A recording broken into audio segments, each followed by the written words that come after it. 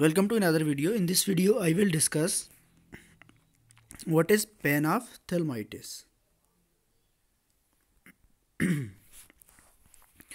It is the inflammation of all coats of the human eye including intraocular structures.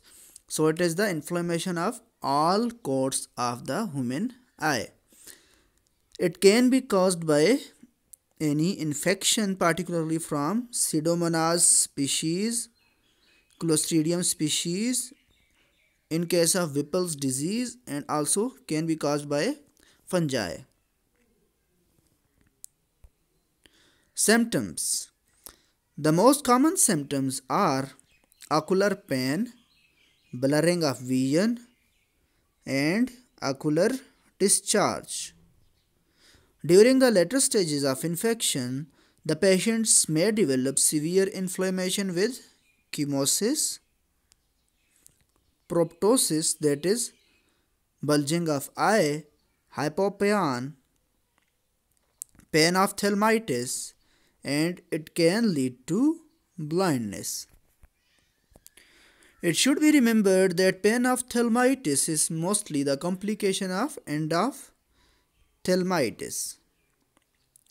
Signs The signs are systemic features of toxemia such as fever.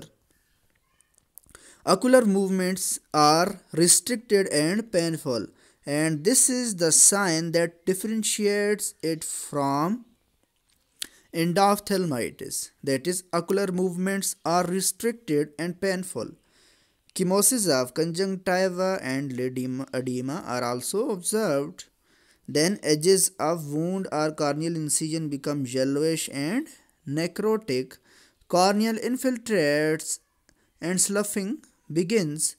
Hypopyon worsens. That is, what is hypopyon? Hypopyon is actually inflammation of the pus, uh, accumulation of the pus in the anterior chamber. Then blindness that is no perception of light can occur. So these are the signs. Treatment. The main treatment for endogenous bacterial panophthalmitis includes intravitreal and periocular injections of antibiotics and dexamethasone combinations. So this combination is used. The periocular treatment includes subconjunctival and subtenon injections Evisceration is also the treatment for complicated pain of panophthalmitis. Here you should remember this difference. This is very important that the term endophthalmitis describes inflammation of the internal tissues of the eye only. Inflammation of the internal tissues of the eye only. But the pain of panophthalmitis describes inflammation of the internal tissues as well as external layers of the eye.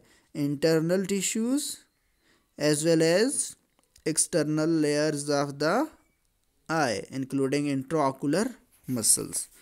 So this is all about pain of panophthalmitis and difference between endophthalmitis and pain of panophthalmitis. Thank you.